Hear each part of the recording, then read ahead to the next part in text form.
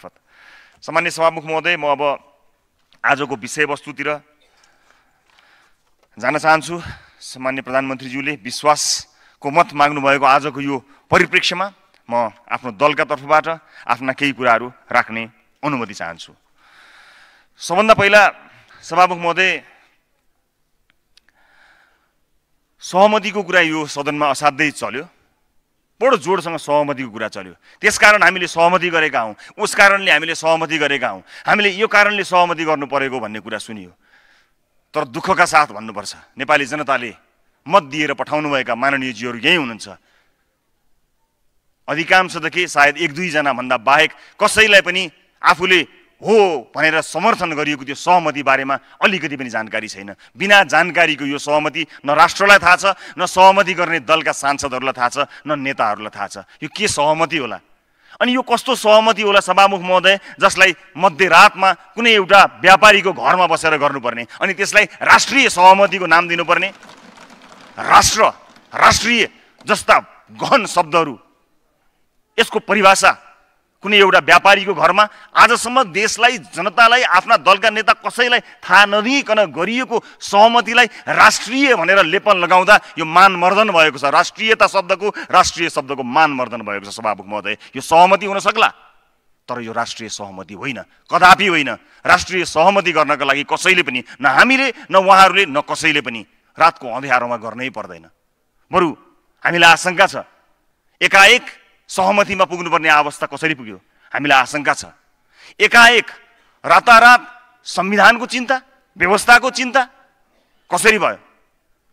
जब अनुसन्धानको सुई कसैको घरको ढोकामा ढकढकाउन पुग्यो त्यतिखेर तपाईँहरूलाई संविधानको याद आयो।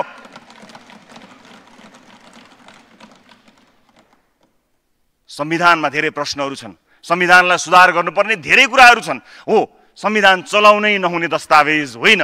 बेला बेलामा त्यसलाई परिमार्जन गर्नुपर्छ त्यो बेला बेलामा त्यसलाई हेर्नुपर्छ सच्याउनु पनि पर्छ होला। तर कुन अवस्थामा? यो अवस्थामा? अहिलेको अवस्थामा? देशमा कुन सङ्कटकाल लागेको थियो सभामुख महोदय? देशमाथि कहीँबाट कतै हमला भएको थियो कि? कि देशमाथि कुनै प्राकृतिक विपत्ति परेको थियो? कि देशमा संविधान निर्माण गर्नुपर्ने थियो? कि देशमा कुनै अन्य किसिमका विभिन्न चुनौतीहरूले सामना गर्नुपर्ने अवस्था आएको थियो? केही पनि आएको थिएन सभामुख महोदय। हामीले बुझ्दा हामीले थाहा पाउँदा। आएको भए त्यो के हो काहीँ कतै देख्न सुन्न नपाएपछि मलाई लाग्छ आएको थिएन। बस। संविधान जोगाउने नाममा कसलाई जोगाउन खोजिएको त्यो सहमति पत्र आएपछि खुल्ला तर आजको दिनमा संविधान जोगाउनका लागि यो सहमति भएको भन्ने कुरा कम्तीमा म मेरो पार्टी र हामी यसलाई स्वीकार गर्न तयार छैनौँ। त्यसैले। र यो सँगसँगै मध्यरातमा जब सहमति भएको थाहा भयो त्यस पछाडि साथीहरूले सहमति के भएको भन्ने थाहा छैन। अब राति भएको सहमति भोलिपल्ट राति फेरि बैठक भएर सहमति तोडियो भन्ने हो कि के हो त्यो पनि टुङ्गो छैन। तर त्यसबिचमा खोइ राजिनामा दिएको खोइ राजिनामा दिएको किन राजिनामा नदिएको किन टाँसिएको किन पदलोलुप भएको भन्ने आरोप रासोपालाई लाग्यो हामीलाई लाग्यो। सामान्य सभामुख महोदय देशमा बाढी पहिरो गइरहेको छ। जनता आपद विपदमा परेका छन्। बिहान उठ्दा मध्यरातमा दुई ठुला दलहरूले सहमति गरेको खबर आउँछ। के सहमति गर्यो देशलाई जनतालाई थाहा छैन। हिजोसम्म सबै ठिकै थियो भन्ने बुझिएको थियो। देशमा कुनै आपत अप्ठ्यारो त्यस्तो परिस्थिति परेको काहीँ कतै देख्दा पनि देखिँदैन। तर त्यस्तो अवस्थामा मुलुकको जिम्मेवारी लिनुपर्ने अवस्थामा बसेको बेलामा सहमतिका बारेमा कुनै जानकारी प्राप्त नभएको अवस्थामा अन्यलका बिचमा के हामीले राजनीतिक इमान छोडेर छोड्दै अब हो सहमति बिग्रिएछ दुईवटा ठुला दलले सहमति गरे अब तिनको सरकार बन्छ के कतै कहीँ मन्त्री पो पाइन्छ कि कुनै ठाउँ पाइन्छ कि भनेर भागेर दौडेर जाने हो कि यहीँ बसेर जनता बचाउने काम गर्ने हो?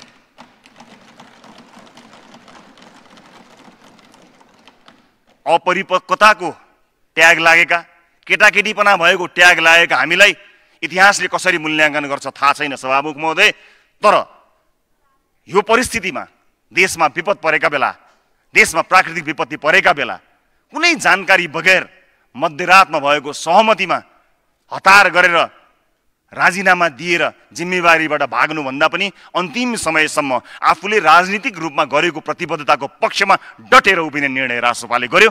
त्यही निर्णय स्वरूप आज हामी उपस्थित भएका छौँ।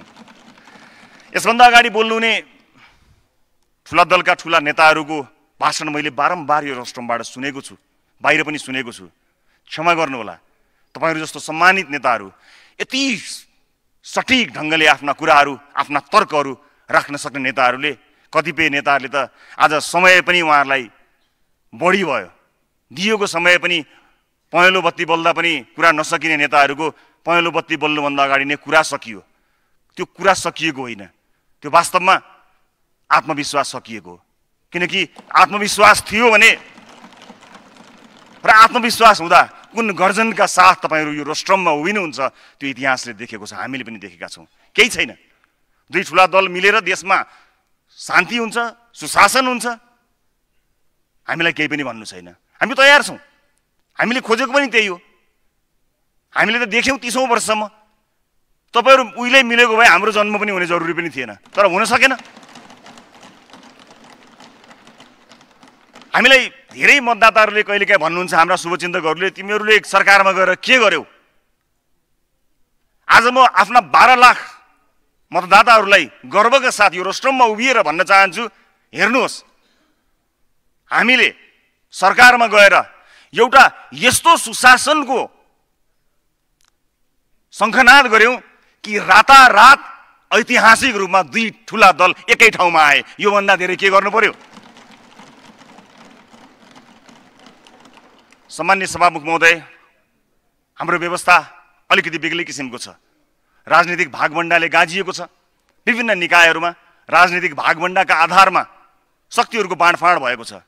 त्यो आफैमा एउटा सेपरेसन अफ पावर त्यो आफैमा लोकतन्त्रको एउटा खम्बा हो एउटा महत्त्वपूर्ण कडी हो।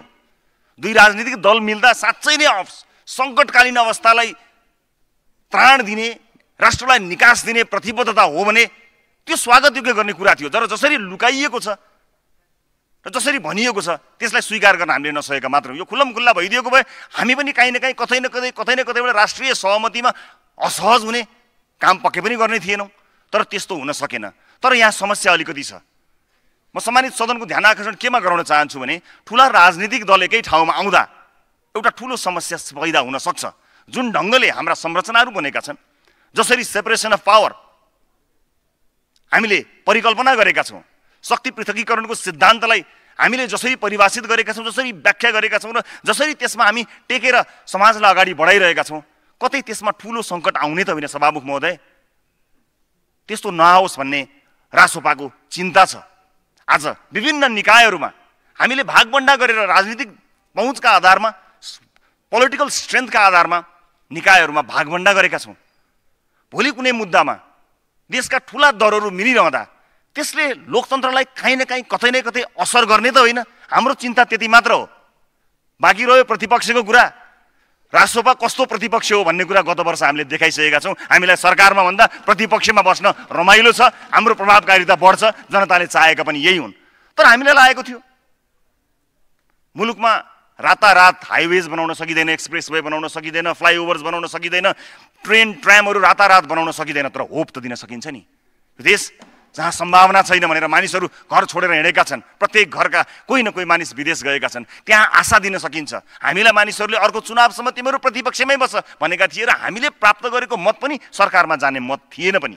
तर पनि मैले पहिलोपटक सरकारमा जाँदाखेरि प्रधानमन्त्री पुष्पकमल दाहाल प्रचण्डको सरकारको नेतृत्व हुँदैछ भने थाहा पाएपछि उहाँसँग गरेको यो कुरा सम्मानित सदनलाई बताउन चाहन्छु। मैले उहाँलाई स्पष्ट भनेको थिएँ। म एउटा कुरा स्पष्ट पार्न चाहन्छु।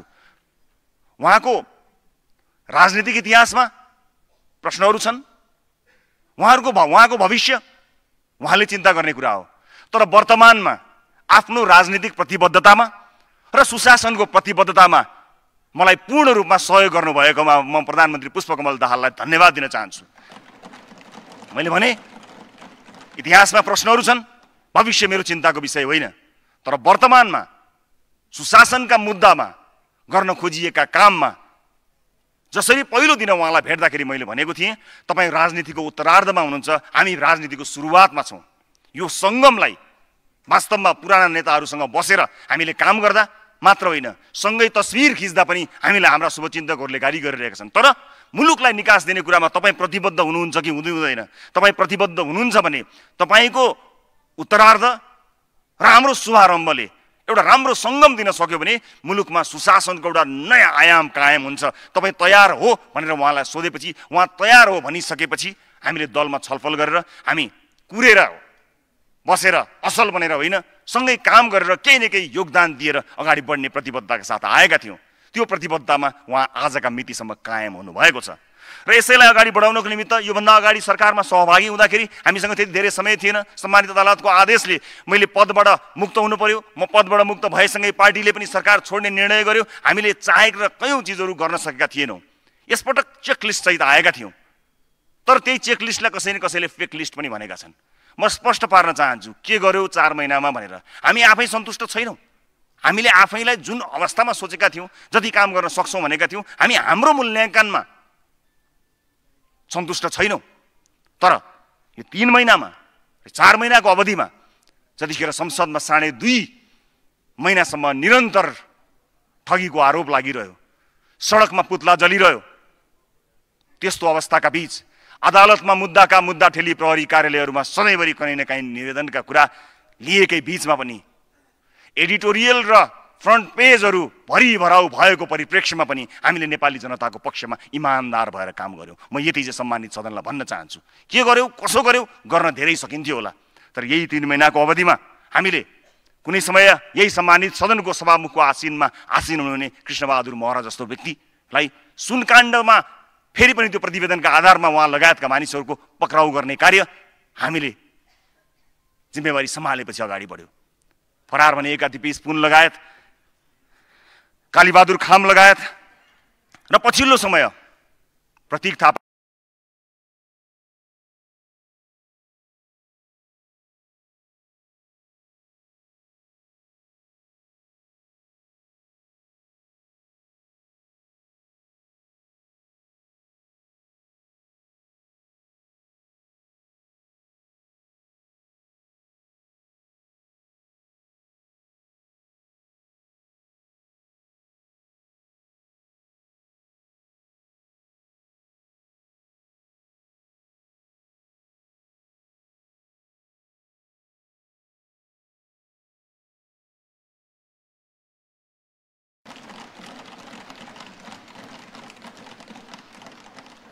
हामी यही सदनमा बसेर हेरिरहनेछौँ।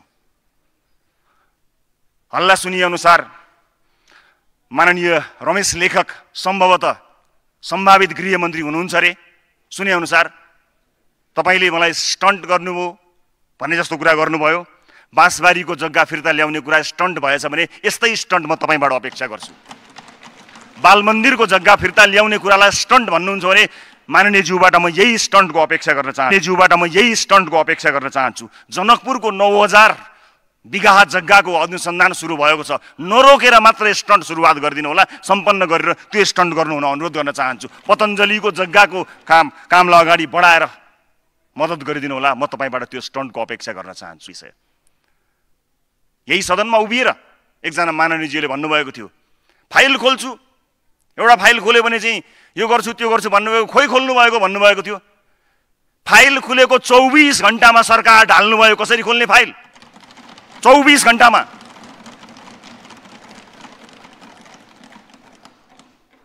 सरकार के कारणले ढल्यो हाम्रो सहमति के भयो भनेर तपाईँहरूले सदनलाई ढाँट्नुभयो यो देशको बच्चा बच्चालाई थाहा छ सरकार किन ढल्यो। यो देशको बच्चा बच्चालाई थाहा छ कसका कारणले सरकार ढल्यो।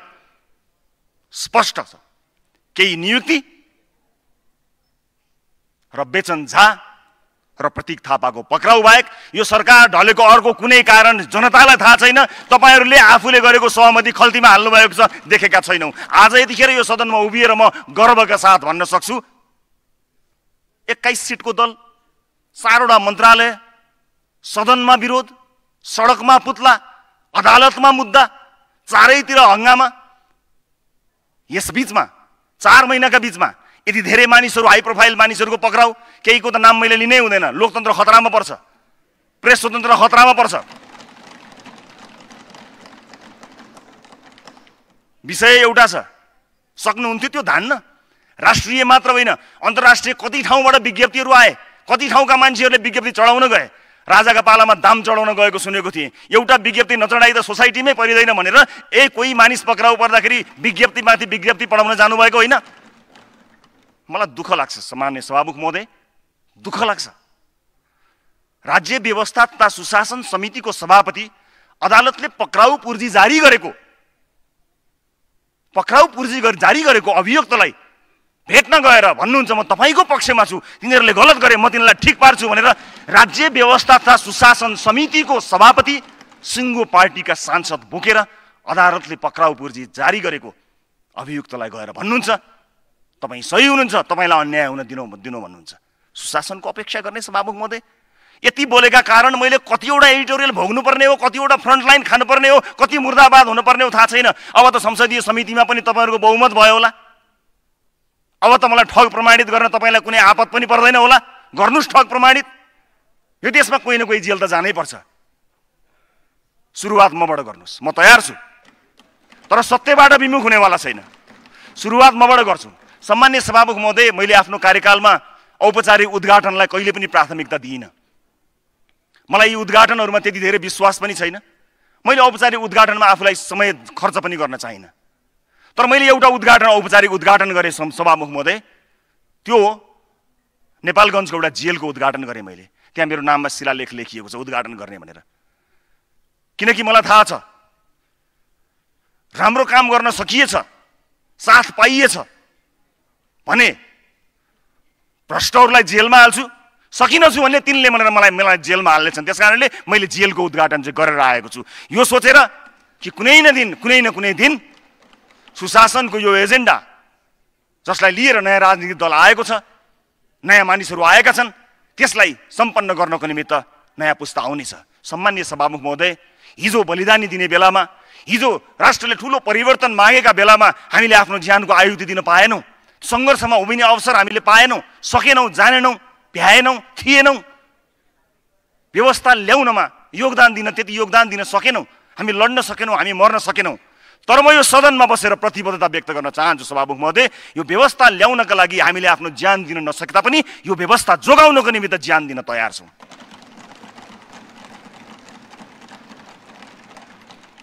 यसलाई तलमाथि हामी हुन दिँदैनौँ। यो म स्पष्ट पार्न चाहन्छु।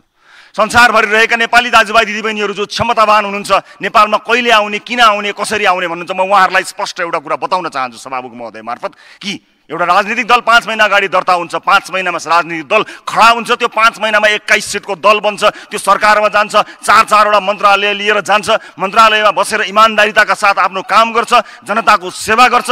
काम गर्दै जाँदाखेरि एक दिन यस्तो एउटा फाइल खुल्छ कि इतिहासमा कहिल्यै नभएको घटना हुन्छ दुईवटा ठुला दल ठ्याप्पै मिल्ने काम हुन्छ भने यो देशमा सम्भावना छ। आउनुहोस्।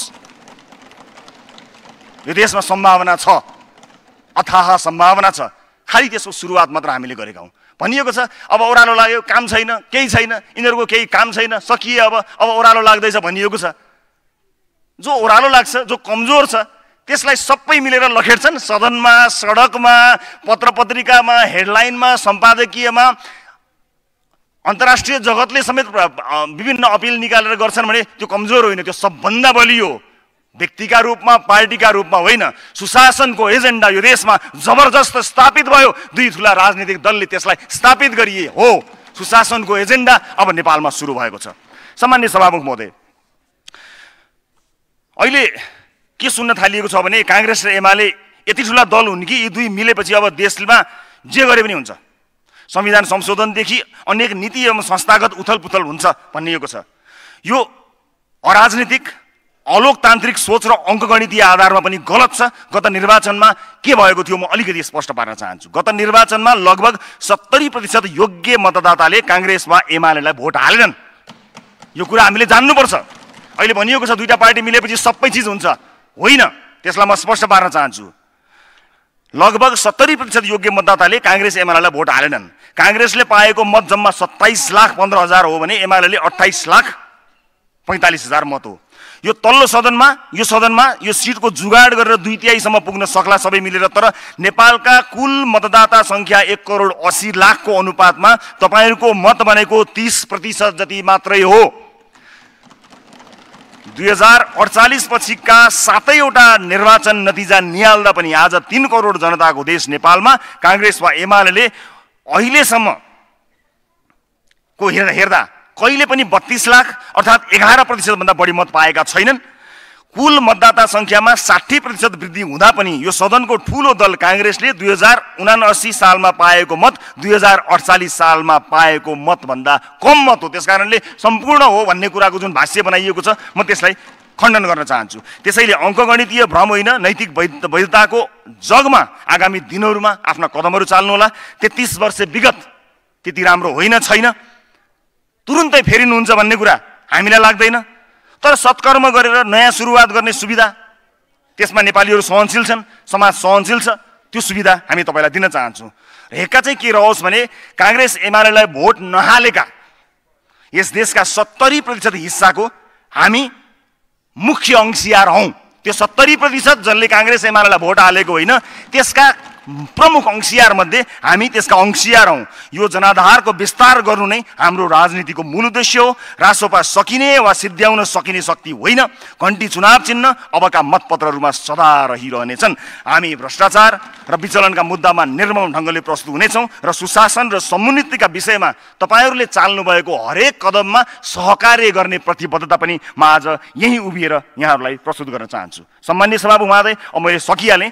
म छोटा केही कुराहरू यहाँहरू समक्ष प्रस्तुत गर्न चाहन्छु। विशेष गरेर सकिहाल्ने सभामुख महोदय। केही छोटो जानकारीहरू मात्र छन् यहाँ। पदभार सम्हाल्दाखेरि सरकारी र सार्वजनिक जग्गाको अतिक्रमण यो अतिक्रमणलाई अन्त्य गर्ने पहिलो निर्णयबाट सुरु गरिएकोमा छ सय पैँतिस बिघा एक कट्ठा दस दूर जग्गा तराईमा र चौहत्तर रोपनी तेह्र आना जग्गा पहाडमा सार्वजनिक र सरकारी जग्गा साबिक्य अवस्थामा फिर्ता ल्याइएको कुरामा सम्मानित सदनलाई जानकारी गराउन चाहन्छु। पदभार सम्हालेको एक साता नबुझ्दै आन्दोलनरत मिटर ब्याज तथा ठगी विरुद्ध किसान मजदुर सङ्घर्ष समिति नेपालसँग सहमति गरी मन्त्री परिषदको चैत्र आठ गतिको निर्णयमाले अनुचित लेनदेन मिटर ब्याज सम्बन्धी जाँचबुझ आयोग गठन भयो असी गठन भयो। त्यतिखेर मानिसहरू स धेरै जस्तो आन्दोलनरत थिए। सडकमा थिए। उनीहरूसँग सहमति गरेको कुरा जानकारी गराउन चाहन्छु। दस महिनादेखि सङ्घर्षरत मृतक आरती शाहको परिवारसँग सम्झौता भई नेपाल प्रहरीको अपराध अनुसन्धान ब्युरोको टोलीबाट घटनाको पुनः अनुसन्धान गरी प्रतिवेदन राखिएको छ। त्यसै गरी निर्मला कुर्मी र सुमरदानी थारूको मृत्यु सम्बन्धमा विभिन्न माग राखी अनुसन्धरत रुबी खानसँग पाँच बुधे सहमति गरिएको छ। पछिल्लो तिन महिनामा सीमाबाट हुने अवैध ओसार प्रसार नियन्त्रण गर्न सीमा गस्तीलाई व्यापक एवं प्रभावकारी रूपमा परिचालित गरिएको छ। यसबाट तिन महिनामा जम्मा नेपाल प्रहरीले एक अर्ब त्रिचालिस करोड सन्तानब्बे लाख अन्ठाउन्न हजार बराबरको र सशस्त्र प्रहरी बल नेपालले सडचालिस करोड सतासी लाख उनासी हजार राजस्व अनुसन्धान कार्यालयमा बुझाएको भन्सार राजस्व अनुसन्धान कार्यालयमा बुझाएको जानकारी गराउन चाहन्छु। गृह मन्त्रालयको प्रस्तावमा नेपाल सर नेपाल सरकारबाट फौजदारी कैदकट्टा नियमावली दुई हजार छयत्तरमा संशोधन भएको छ। यसबाट सम्मानित सर्वोच्च अदालतको आदेश कार्यान्वयन गर्न रोकिएको कैदकट्टा सम्बन्धी कार्यलाई सुचारू गर्न र कैदकट्टा सम्बन्धी विषयलाई पीडित मैत्री पारदर्शी र वस्तुनिष्ठ बनाउन बनाउने कानुन आधार तयार भएको छ।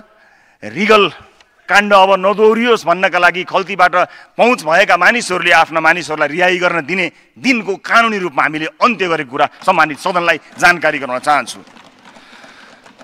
त्यसै गरी सार्वजनिक प्रदर्शन हडताल तथा विरोधका क्रममा हुने क्षति यदि सार्वजनिक सर क्षति सरकारी सम्पत्तिको क्षति कसैले गरेको रहेछ भने कार्यविधि नै बनाएर त्यस्ता क्षति गर्नेहरू विरुद्ध हामीले बिल पठाउने र असुल उप गराउने कार्यविधि तयार गरेको कुरा जानकारी गराउन चाहन्छु। सबै खाले विपदबाट हुने क्षतिलाई समेटेर विपद प्रभावकारी निजी आवास प्रबलीकरण पुनर्निर्माण तथा पुनर्स्थापना अनुदान कार्यविधि दुई हजार एकासी तयार गरी कार्यान्वयनमा ल्याइएको छ। राष्ट्रिय परिचय पत्रमा विशेष काम भएको छ। हिरासत छल्न अस्पताल बस्ने कार्यलाई नियन्त्रण गर्न नेपाल मेडिकल काउन्सिलको राय लिई कार्यान्वयनका लागि नेपाल प्रहरी र महान्यायाधिवक्ता कार्यालयमा पत्राचार गरिएको छ।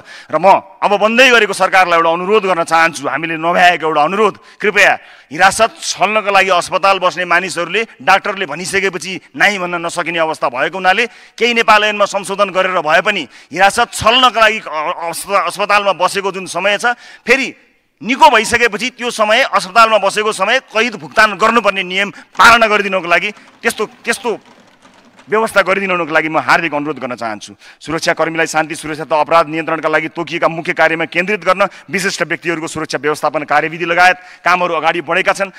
गृह मन्त्रालयमा हेल्प डेस्क सञ्चालन गरी दैनिक नागरिकले आफ्ना गुनासो राख्न पाउने व्यवस्था गरिएको छ। त्रिभुवन अन्तर्राष्ट्रिय विमानस्थलको सेवालाई थप प्रभावकारी र छिटो छरितो बनाउनको लागि आगमन र प्रस्थानतर्फ चारवटा डेस्क थपिएको छ र अहिले जुन गुनासो थियो सैँतिस सेकेन्डमा सामान्य अवस्थामा सैँतिस सेकेन्डमा एकजना मान्छेले इमिग्रेसन पार गर्न सक्ने गरी चुस्त सेवा बनाइएको कुरा सम्मानित सदनलाई जानकारी गराउन चाहन्छु। मुलुकको प्रमुख प्रशासनिक केन्द्र सिंहदरबार प्रवेशको व्यवस्थापनलाई ऐतिहासिक रूपमा सहज बनाएका थियौँ। अब सिंहदरबार प्रवेश गर्नको लागि कसैलाई चिन्नु पर्दैन। मान्छेको काम भए हुन्छ। आफ्नो क्युआर कोड मार्फत अपोइन्टमेन्ट लिएर कसैलाई नचिनिकन कसैलाई भन्छुन नगरिकन सहजै सिंहदरबार प्रवेश गर्ने व्यवस्था मिलाइएको छ। राणा शासनपछि पहिलोपटक नेपाली जनताका सुरक्षाका लागि सिंहदरबार व्यवस्थित ढङ्गले सुरक्षित तरिकाले खोलिएको जानकारी सम्मानित सदनलाई जानकारी गराउन चाहन्छु। सेवाग्राहीको गुनासो सुन्नका लागि गृहमन्त्रीलाई भन्नुहोस् क्युआर कोडमा प्रत्येक दिन छ सात सयवटा गुनासाहरू आउने गर्थे। त्यसको सम्बोधन दुई हप्तासम्म गर्न भ्याएँ। आशा गर्दछु आउने गृहमन्त्रीज्यूले त्यसलाई निरन्तरता दिनुहुनेछ। विपदको पूर्व तयारीप्रति कार्यका लागि हामीले आवश्यक कदम चालेर एघार उनान्चास मार्फत कमान्ड पोस्ट बनाई चौबिस घन्टा सेवा प्रवाह गरिरहेका छौँ। कारागारहरूलाई सुधार सुधार गृहको रूपमा विकास गर्ने गरी सहजीकरण गर्ने कार्यमा निरन्तरता दिइएको छ। नागरिकता कार्यविधि दुई हजार एकासी लागु औषध नीति कारागार नियमावलीको मस्यौदा तयार गरी रायका लागि कानुन न्याय तथा संसदीय मामिला मन्त्रालयमा पठाइएको जानकारी सम्मानित सदनलाई जानकारी गराउन चाहन्छु। छाउपडी कुप्रथा सम्बन्धी समस्या निराकरणका लागि सहसचिवको संयोजकत्वमा अध्ययन तथा सुझाव समिति गठन गरिसकिएको छ। प्रहरी सेवा अवधि पुनरावलोकनका लागि सहसचिवको संयोजकत्वमा अध्ययन तथा सुझाव समिति गठन भएको छ। तल्लो दर्जाका प्रहरीहरूलाई सोह्र वर्षमा अवकाश प्रदान गर्ने र तिस वर्षलाई पनि पुनरावलोकन गर्ने गरी यो समिति गठन गरिएको र यो सरकारको नीति कार्यक्रममा पनि व्यवस्था भएको कुरा सम्मानित सदनलाई जानकारी गराउन चाहन्छु।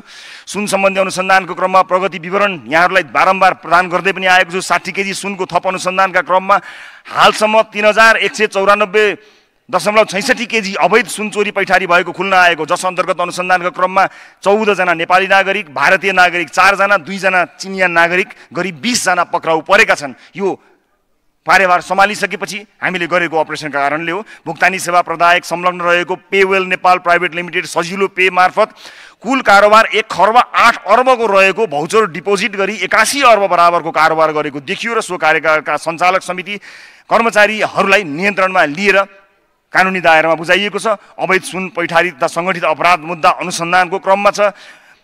दस वर्षदेखि फरार माओवादी नेता कालीबहादुर खाम पक्राउ परेसँगै अनुसन्धानको तीव्र गतिमा अगाडि बढेको छ।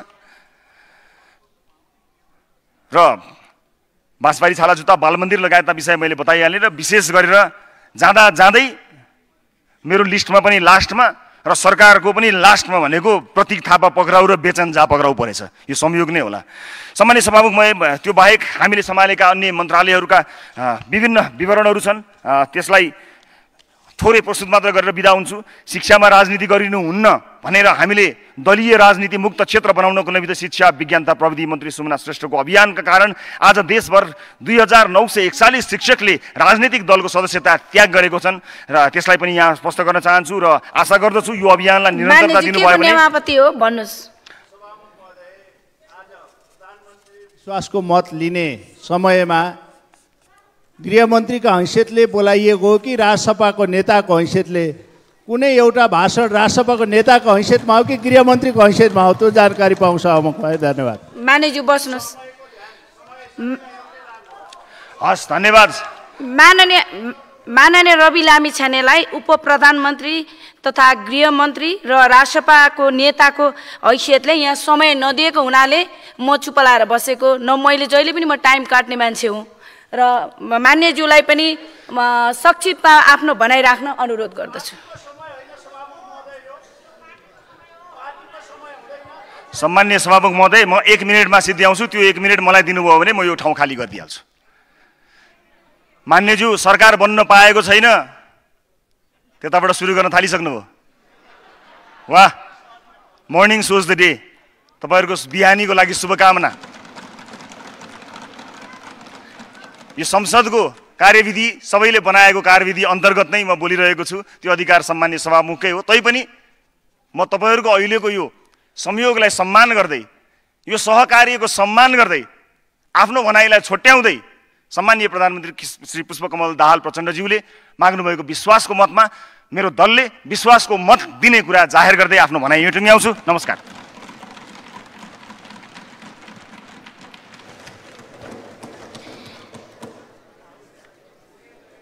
माननीय ज्ञानबहादुर साई समय सात मिनट त्यसपछि माननीय मेटमणि चौधरी।